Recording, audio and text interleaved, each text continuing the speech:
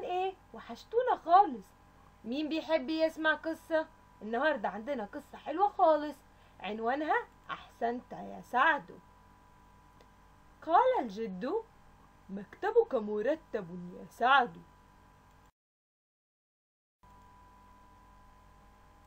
قال سعد أنا أرتب المكتب كل يوم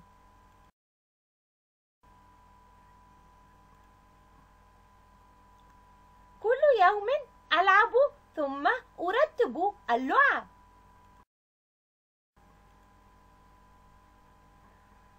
أقرأ القصص ثم أضع القصص على المكتب.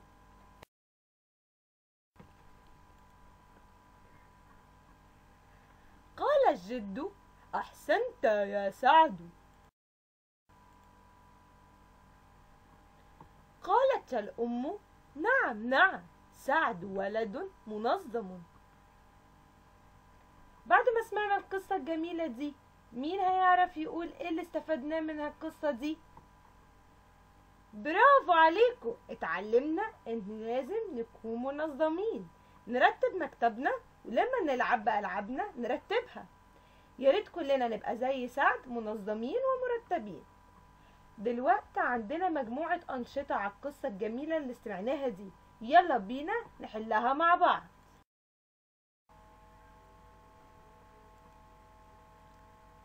النشاط الأول صدق هنا عايزني يا حبايبي نوصل الكلمة بالصورة الدالة عليها. تعالوا نقرأ الكلمة الأولى. القصص. طب القصص هنوصلها بأنهي صورة؟ الصورة التالتة برافو. طب تاني كلمة. كلمة المكتب؟ طب المكتب بأنهي صورة؟ هنوصلها بالصورة الأولى. برافو. وآخر كلمة اللعب. هنوصلها بأنهي؟ بآخر صورة متبقية اللي في النص. برافو عليكم شاطرين.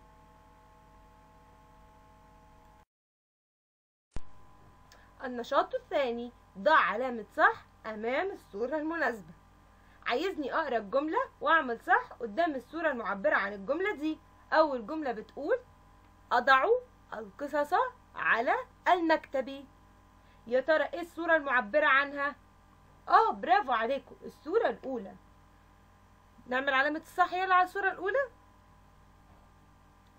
يلا نشوف الجملة التانية قالت الأم؟ نعم سعد ولد منظم. طيب أنهي صورة معبرة؟ برافو عليكم طبعا الصورة التانية اللي فيها ماما وسعد. نعمل علامة صح على الصورة التانية. النشاط الرابع اختار. عايزني أختار الصورة اللي ينفع أحطها جنب الجملة. أول جملة بتقول أنا أرتب. يا ترى هختار أي صورة الأطباق. ولا اللعب. برافو عليكم. هختار اللعب. نحط جنبها علامة. أنا أرتب اللعب. تاني جملة بتقول أضع القصص على يا ترى هنحطها القصص على إيه؟ برافو عليكم. المكتب. نعمل جنب المكتب علامة صح. أضع القصص على المكتب. آخر جملة بتقول سعد ولد كان سعد ولد إيه؟ سعد ولد منظم. يبقى هنحطه على أنهي صورة؟ برافو عليكم الصورة الأولى. دولاب منظم. شطار جدا. برافو عليكم يبقى سعد ولد منظم. نحط جنب أول صورة صح. برافو عليكم يا حلوين. يلا نشوف النشاط. النشاط الخامس. لون ثم اختار الكلمة المناسبة. مين بيحب التلوين؟ طب يلا بينا نكون الصور وبعدين نختار الكلمة الدالة عليها. الصورة الأولى. أرتب ولا ألعب؟ الصورة اللي قدامنا بتدل على إيه؟ أرتب. برافو عليكم. طب والصورة التانية؟ أكتبه ولا أقرأه؟ ده هو ماسك الكتاب ده بيعمل إيه؟ بيكتب ولا بيقرأ؟ أقرأه. برافو عليكم. طب وآخر صورة أزرعه ولا أضعه؟ واحد بيحط حاجة على الكرسي بتاعه. يبقى ده بيزرع ولا بيضع؟ أضعه. شاطرين خالص. وإحنا نبقى نلونها بقى في البيت. النشاط السادس.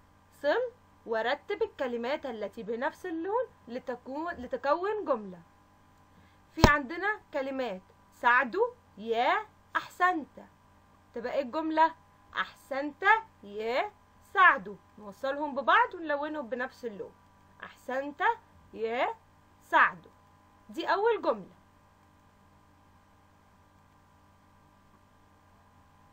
تاني جملة. عندنا ولد منظم سعد طب هنقول إيه الجملة؟ سعد ولد منظم. نوصلهم ببعض ونلونهم برضو.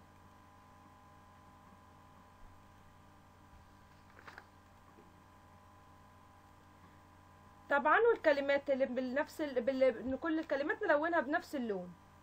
يعني كده كونا جملتين جملة من الكلمات اللي باللون البينك وكلمة وجملة بالكلمات اللون الأصفر. شكرا يا حبايبي وهتوحشونا خالص خالص. باي.